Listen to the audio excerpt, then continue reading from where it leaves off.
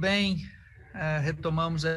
nossos trabalhos para a próxima mesa redonda, agora sobre esteatose hepática metabólica, novo nome, quem sabe a gente pode ter oportunidade aí de discutir alguma coisa com relação a isso. E para moderar os trabalhos dessa mesa, eu convido a doutora, a professora a doutora Cláudia uh, de Oliveira, que tem doutorado, pós-doutorado livre docência no Departamento de Gastroenterologia da Faculdade de Medicina da USP, é professora associada é, do Departamento de Gastroenterologia da Faculdade de Medicina da USP e coordenadora da pós-graduação em Ciências em Gastroenterologia da Faculdade de Medicina da USP. Então, professora Cláudia Oliveira, muito obrigado pela presença e ótima mesa a todos. Bom dia, bom dia a todos. Obrigada, doutor Roberto, pelo honroso convite. É um prazer estar aqui nessa mesa de tão ilustres professores e, numa, e num assunto tão interessante.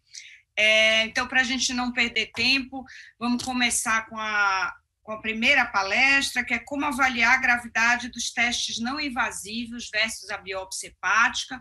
com a doutora Rosamar. É, a doutora Rosamar, ela é médica assistente do Hospital das Clínicas é, da USP de Ribeirão Preto, ela fez seu doutorado também lá, é, e ela fez um pós-doutorado também na Faculdade de Medicina da USP aqui em São Paulo. Doutora Rosamar é, vai nos falar, então, como avaliar os pacientes com testes não invasivos. Doutora Rosamar. Bom, para mim é um prazer falar de um tema que eu gosto muito. Então, o tema que me coube é sobre esteatose hepática metabólica, como avaliar a gravidade dos testes não invasivos versus a biópsia hepática. Eu não tenho nenhum conflito de interesse para essa apresentação e a tarefa aqui hoje é para discutir sobre a acurácia e aplicabilidade dos métodos não invasivos para avaliar a esteatose, a esteatohepatite, a fibrose e quando nós devemos indicar a biópsia hepática. Importante antes ressaltarmos que a doença hepática gordurosa metabólica, ela é de alta prevalência na população geral, em torno aí de 25 a 30%, mas chegando até 70% nos pacientes diabéticos, a mais de 90% nos pacientes com obesidade mórbida, e é uma doença silenciosa e dinâmica. A maioria dos pacientes se mantém com esteatose, em torno aí de 20% podem evoluir para esteatohepatite, e esses são os pacientes com maior risco de evolução para fibrose, para cirrose, até mesmo para carcinoma hepatocelular. Essa evolução da fibrose, ela é tempo variado, e um dado importante que essa dinâmica de evolução, nós também podemos ter regressão, principalmente nas fases mais iniciais de, de fibrose, isso está bem documentado com a perda de peso, sendo então extremamente importante a gente fazer o diagnóstico das fases precoces para evitar um desfecho um, ruim dessa doença. E recentemente foi modificado o nome da doença para MEFILD, que é a doença hepática gordurosa associada à disfunção metabólica, é, passou a ter um diagnóstico mais positivo, mais de inclusão, não é necessário mais excluir outras causas de doença hepática, o uso do álcool, e aqui eu quero chamar a atenção para os novos critérios, que é muito importante, né, o primeiro passo é a gente detectar a esteatose hepática, isso pode ser por imagens, ou por biomarcadores, ou por histologia hepática, é, e aí, junto com as alterações de peso, ou presença de diabetes, ou quando o peso normal associado a duas alterações, então temos o diagnóstico de Mayfield. Então, como que nós vamos investigar uma doença que tem uma prevalência elevada, que tem uma apresentação variada na histologia hepática de esteatose, esteatohepatite e fibrose, como que os métodos não invasivos podem nos auxiliar, quanto que nós devemos indicar a biópsia, lembrando que o nosso alvo é detectar mais precocemente é, a fibrose, é, o ideal é até antes da fibrose, mas por que a fibrose? Porque nós já temos dados demonstrando que a fibrose significativa associa com maior mortalidade de eventos uh, hepáticos e também para doença cardiovascular, como foi demonstrado nessa corte é, que seguiu os pacientes por mais de 30 anos. Então, nós temos um universo grande de pacientes, muitos desses pacientes estão na atenção primária ou seguindo com os endocrinologistas, e é um percentual menor que nós teremos de fibrose avançada, sendo maior nos pacientes diabéticos. Então, os métodos não invasivos, eles são extremamente importantes para fazermos a estratificação de risco, com isso termos uma avaliação prognóstica, o manuseio do tratamento e quando que nós devemos, então, encaminhar esses pacientes para o hepatologista e, sem dúvida, para é, guiar a indicação de biópsia hepática. Lembrando que as aminotransferases não nos auxiliam, nós podemos ter uh, NASH ou fibrose já avançada, essas enzimas serem normais. A gama-GT parece relacionar com a presença de resistência insulínica e com risco maior de doença cardiovascular. Então, em relação aos métodos não invasivos, como eu vou demonstrar aqui, eles são importantes para diagnóstico e também para segmento. Então, com relação à esteatose, nós temos métodos é, de imagem, biomarcadores, a fibrose também, que é o que vai avaliar a gravidade da doença, e a gente tem um gap muito grande, que é a investigação da esteatohepatite. Nós não temos ainda métodos não invasivos robustos para essa avaliação, a gente tem alguns dados do fragmento de citoqueratina 18, que relaciona com a apoptose hepática, mas os valores de corte são variados nas publicações, não, não validado na prática clínica. É, o ultrassom multiparamétrico é um dado interessante, recente, que eu vou mostrar aqui na apresentação, e recentemente foi apresentado um estudo bastante interessante no ISO, mostrando a relação da esteatose muscular com é, fases iniciais é, do NEST. E, sem dúvida, é, a biópsia hepática consegue diferenciar todas essas fases, mas realmente, numa doença extremamente prevalente, nós temos que ter é, seleção para o uso desse método. Então, em relação à esteatose hepática, os métodos qualitativos, mais utilizado é o ultrassom de abdômen, é um método de mais fácil acesso, barato, mas a sensibilidade para detectar esteatose leve, ela é baixa, fica em torno de 60%, e o CT de abdômen não tem vantagens em relação ao ultrassom, inclusive a sensibilidade para detecção de esteatose leve é ainda mais baixa, e além de ser um, um exame com radiação. A ressonância magnética, sim, já faz uma avaliação quantitativa, é, é um método que nós podemos fazer por análise de química químico chip, ou PDFF, espectroscopia. O PDFF é a técnica que tem sido mais utilizada, ela diminui os fatores confundidores, como, por exemplo, o ferro, que é, pode interferir na, avalia, na, avaliação da químico chip, e ela já está bem padronizada, com, é, de acordo com a, com a histologia hepática, na graduação é, dos diferentes graus de esteatose, com uma performance é, bastante é, excelente, na verdade, e a desvantagem é com o método custo, ainda de difícil acesso e algumas limitações que podemos ter na realização do método, como a claustrofobia. É, um outro dispositivo também para avaliar quantitativamente a esteatose, a partir também em torno de 5 a 10%, então também podemos avaliar a esteatose leve, é o CAP, que é um software está ligado à elastografia transitória, ao fibroscan, ele já foi descrito é, em, em, 2010 pela Magali Sasso. Esses valores de corte, eles variam um pouco em relação às publicações, foram melhores estabelecidos para o PROBE-M, é, e essa é uma meta-análise mais recente que faz os valores de corte, tendo aí um, um bom desempenho, sendo que para diferenciar a esteatose grau 2 do grau 3 é que o desempenho é melhor. É, essa meta-análise, a maioria dos estudos foram com probe M e o probe XL, que é o probe mais adequado para ser utilizado nos pacientes obesos. Nós ainda utilizamos valores de corte que foram padronizados com o probe M e recentemente também foi apresentada uma meta-análise agora no ISO, mostrando valores de corte para o probe XL, é uma meta-análise aí com 13 estudos, incluindo o grupo do Rio de Janeiro, e aí aguardaremos então a, publicação dessa meta-análise para mais detalhes.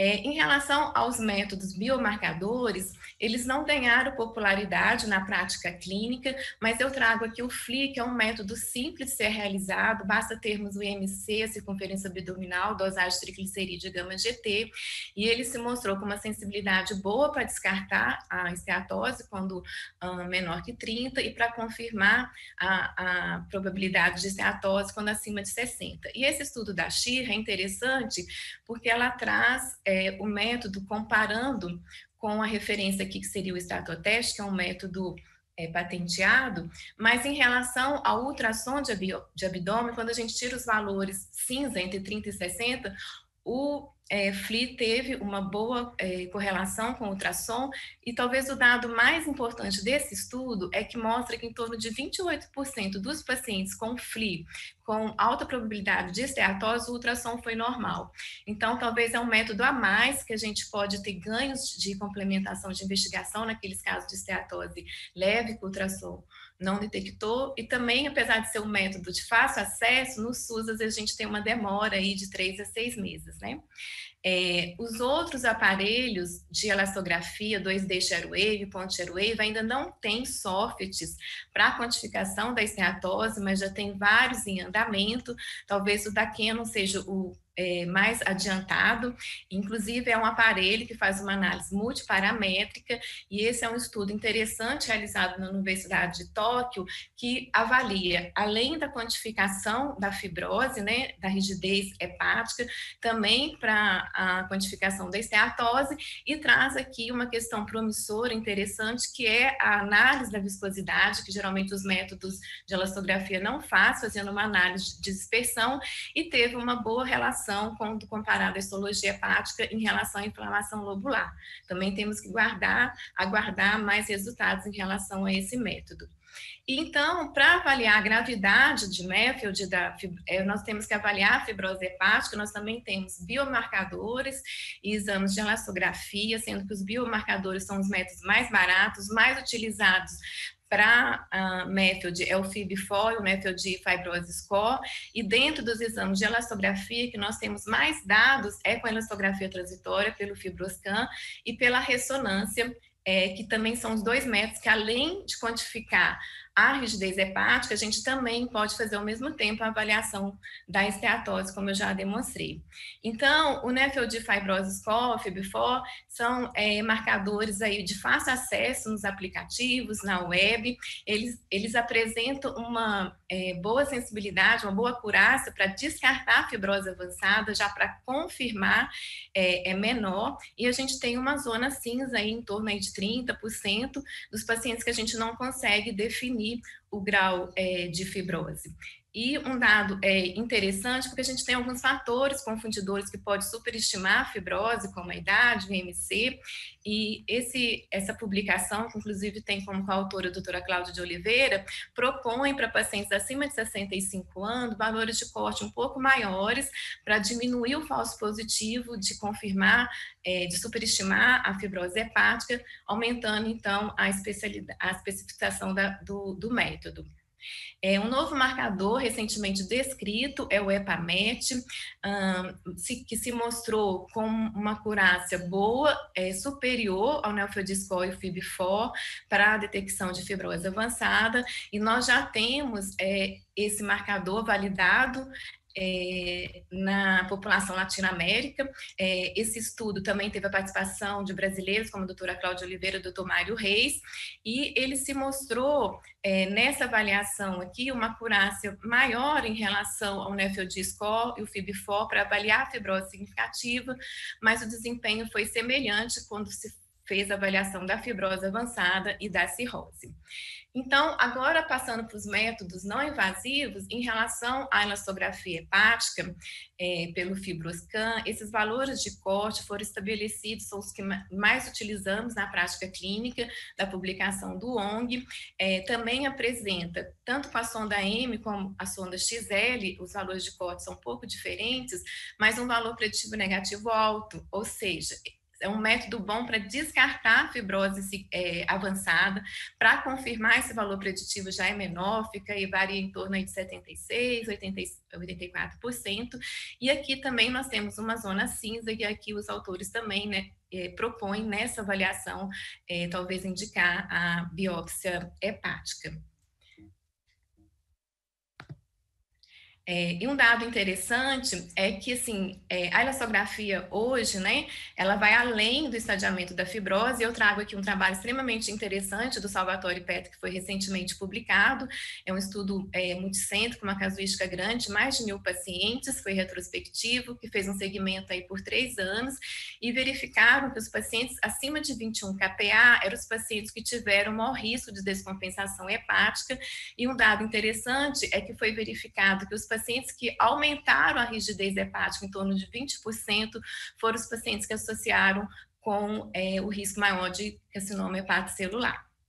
Em relação é, ao método, então, por ressonância, é, os valores de corte já estão bem estabelecidos na literatura. A gente teve um grande ganho com esse exame, porque a gente consegue fazer uma análise maior de praticamente todo o fígado, e a gente observa o quê? que a doença não é homogênea, é uma doença heterogênea. A gente tem áreas é, com mais fibrose, né, que no histograma a gente vê mais vermelho, ou mais roxinho, que é quando tem menos é, fibrose. Inclusive, isso pode interferir até mesmo quando a gente vai fazer a biópsia hepática, e nesse trabalho da, da Mayo Clínica mostrou superioridade em relação aos biomarcadores, e em relação à comparação da elastografia transitória, eu trago esse trabalho é, que mostrou uma acurácia maior da, da ressonância, tanto para quantificação é, da gordura pelo PDFF, como também para a estratificação da fibrose hepática em relação ao fibroscan. É, lembrando que nesse estudo utilizaram o ProBM, que não é o mais adequado para pacientes com sobrepeso e obesidade e já estou quase terminando. Em relação a é, uma outra avaliação interessante que foi mostrado recentemente, é que é um método também que pode ser utilizado, é, e talvez vá ser utilizado mais nos trials clínicos, nas novas drogas, porque já temos dados demonstrando que a diminuição em 30% do PDFF, que corresponde à diminuição de esteatose, houve uma relação boa em relação à diminuição do NEFLD score de dois pontos. E, sem dúvida, temos que lembrar de vários fatores que podem interferir com a leitura da rigidez hepática em todos os métodos, é, incluindo aqui a colestase, a congestão, na ressonância uma limitação é o ferro para avaliação da elastografia, da rigidez hepática, mas não da quantificação da gordura. E, por fim, quanto que nós vamos, então, indicar a biópsia hepática? Ficará bem restrito, mas quando a gente tiver os métodos não invasivos inconclusivos ou divergência entre os métodos, ou quando a gente suspeita de uma outra etiologia associada, por exemplo, uma hepatite autoimune, e quando a gente quer confirmar o NEST e uma fibrose avançada, que a gente vai entrar com um tratamento específico, lembrando que ainda os tratamentos são off-label para MEFILD, ou quando vai ser incluído num protocolo de pesquisa. E sem dúvida a biópsia consegue avaliar muito bem o NEST, né, a presença de esteatose, inflamação lobular, valorização, além de fazer a fibrose, mas tem limitações de amostra, de, de é, alteração entre observadores e não é isento de complicações. E para finalizar o futuro, né, nós temos algumas coisas interessantes em relação aos novos marcadores. Eu trago aqui esse estudo do grupo da USP de São Paulo, liderado pela doutora Cláudia de Oliveira, que avaliou a quantificação sérica do colágeno tipo 4, um método simples por ELISA, e houve uma acurácia maior em relação ao FIB4, quando avaliou tanto a fibrose ah, significativa como avançada, e um dado extremamente interessante mostrado agora no ISO é, é, o que a gente quer saber, né? Quem são os pacientes que têm o maior risco de evoluir para um desfecho uh, negativo e é, os modelos de machine learning aqui da histologia hepática trouxe um dado interessante demonstrando a relação da inflamação portal com o maior risco de evolução de fibrose avançada para cirrose. E finalizando, eu trago é, esse slide, é, essa figura, que demonstra bem o resumo da minha aula, é de um estudo de revisão que foi agora, inclusive, referenciado no guideline recentemente publicado da LE, que nós partimos, então, de um universo de pacientes com suspeita de Nefeld, de Mefeld, eh, nós devemos utilizar inicialmente é, os marcadores não invasivos para fazer estratificação de risco de fibrose. Se baixo, esses pacientes poderiam seguir anualmente com orientação de mudança de estilo de vida. Intermediário ou alto, a gente deveria, então, indicar avaliação de patologista, usar um outro método, a elastografia transitória, e é, tendo valores de corte com baixa probabilidade de fibrose avançada, também seguiria anualmente, e se é, com probabilidade alta ou resultado intermediário, aí sim a gente indicaria a fibrose, e na impossibilidade de fazer elastografia, mesmo utilizando a sonda XL, a gente poderia usar a mão, então, das outras elastografias por ultrassom, que os valores de corte ainda não estão bem estabelecidos para a MEFLD, e a ressonância magnética. É, e só ressaltando que recentemente o Casterra fez essa publicação, separando, desmembrando essa figura, já colocando no paciente diabético, por ter maior risco de fatores de complicação é, dos, dos biomarcadores, de superestimar a fibrose, tendo disponibilidade já fazer inicialmente de primeira linha a elastografia por transitória. E não podemos esquecer que esses pacientes têm que ser feito o risco cardiovascular, esse intermediário ou elevado, encaminhado para o cardiologista. Bom, era isso, eu agradeço a atenção de todos.